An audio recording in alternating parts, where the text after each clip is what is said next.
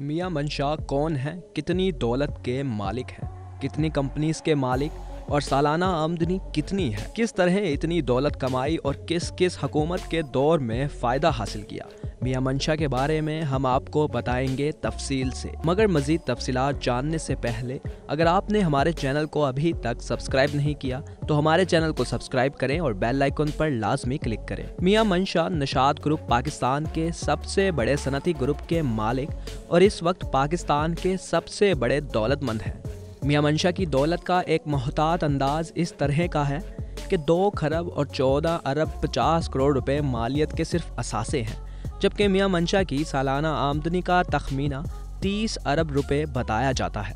چنیوٹ سے تعلق رکھنے والے اس خاندان کی ابتدا، کلکتے سے اس طرح ہوئی کہ میاں منشا کے والد میاں محمد یاہیا اور ان کے چچا بھارتی شہر کلکتہ میں ربڑ چمڑے اور سٹاک ایکسچینج کا کاروبار کرتے تھے۔ جہاں سے قیام پاکستان کے بعد یہ ہجرت کر کے کراچی آ گئے اور کلیم میں انہوں نے کراچی میں گارڈن ایسٹ میں لسبیلا چوک پر آج کل نیو زاہد نہاری کے قریب واقع بنگلے میں رہائش اختیار کی، جہاں آج کل نسیم کلات مارکیٹ موجود ہے۔ اس زمانے میں انکم ٹیکس کا دفتر موجودہ شہر فیصل پر لال کوٹھی بس اسٹاپ کے قریب واقع تھا۔ جب شہر فیصل کا اختتام موجودہ کار ساز اسٹاپ کے پاس ہو جاتا تھا جس کے بعد ایئر فورس کا علاقہ شروع ہو جاتا تھا۔ انکم ٹیکس کا ایک اہم بنگالی افسر میاں منشا کے والد میاں یاہیا کا قریبی دوست بن گیا۔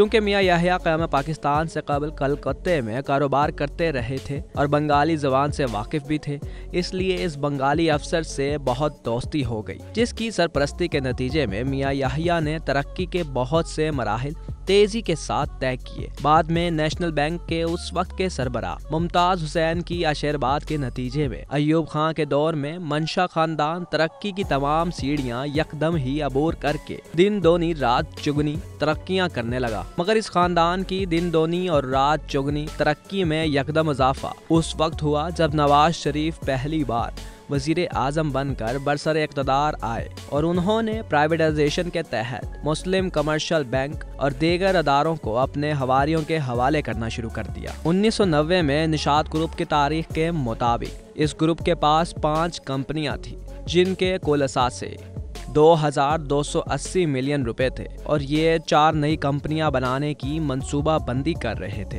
مگر ایم سی بی کی خریداری کے بعد میاں منشا کے نشاد گروپ کے احساسوں میں یکدم اضافہ ہو گیا اور محض دس برسوں میں کئی گنا بڑھ گئے۔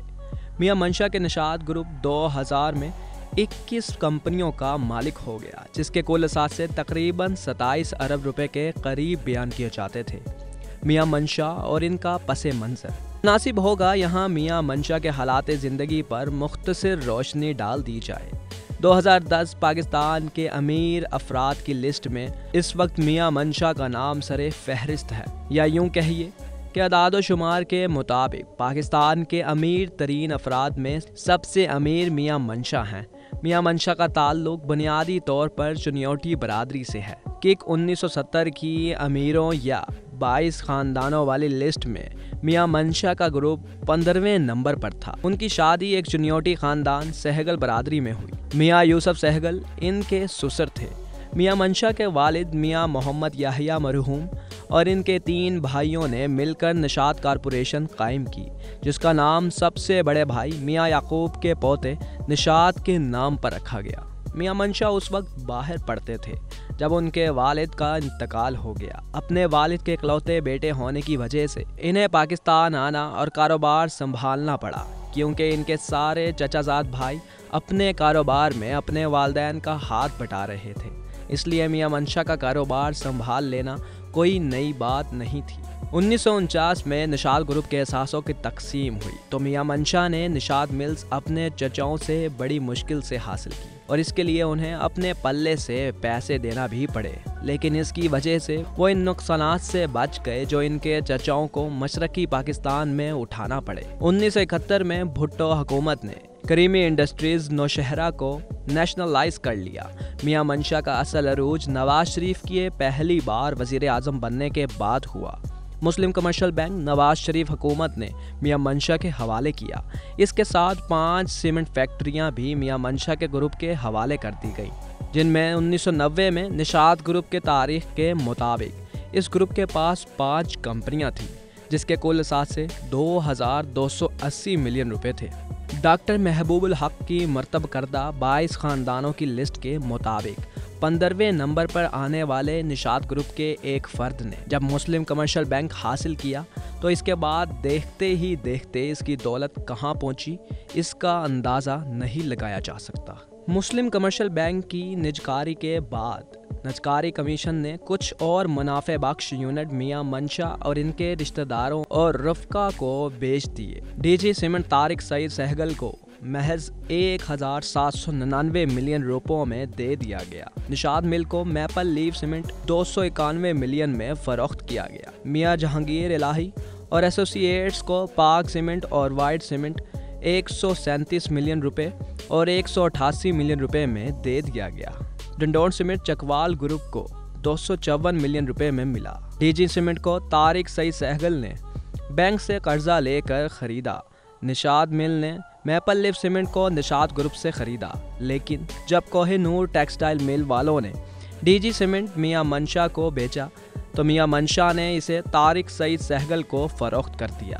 کوہ نور ٹیکسٹائل مل والوں نے وائٹ سیمنٹ اور پاک سیمنٹ میں بھی سرمایہ کاری کر رکھی تھی، جو کہ نشات والوں کے حق میں واپس لے لی۔ اس طرح کے پیچیدہ طریقہ کار سے میاں منشا کے رشتہ دار اور رفقہ آٹھ میں سے پانچ سیمنٹ کمپنیوں کے مالک بن گئے۔ جو کہ نواز شریف نے پرائیویٹائز کی تھی۔ جیسے ہی یہ سیمنٹ کے کارخانے نجی ملکیت میں پہنچے، سیمنٹ کی قیمتیں آسمان سے باتیں کرنے لگی جس کی وجہ سے حکومت کی منوپلی کنٹرول اتھارٹی کو اس کی تحقیقات کرنے کا حکم دیا۔ لیکن جیسا کہ توقع کی تھی انکوائری رپورٹ نے نجی شعبے کو اس سے ممبرا قرار دے دیا۔ یہ نجکاری سے حاصل ہونے والے یونٹ تھے، جن کی وجہ سے میاں محمد منشا جن کا شمار انیس سو بہتر میں پندرہویں نمبر پر ہوتا تھا، انیس سو نوے میں چھٹے نمبر پر پہنچ گئے اور جب میاں نواز شریف کی حکومت کرپشن کے الزامات میں توڑی گئی، تو ان کا گروپ پہلے نمبر پہ جا پہنچا تھا۔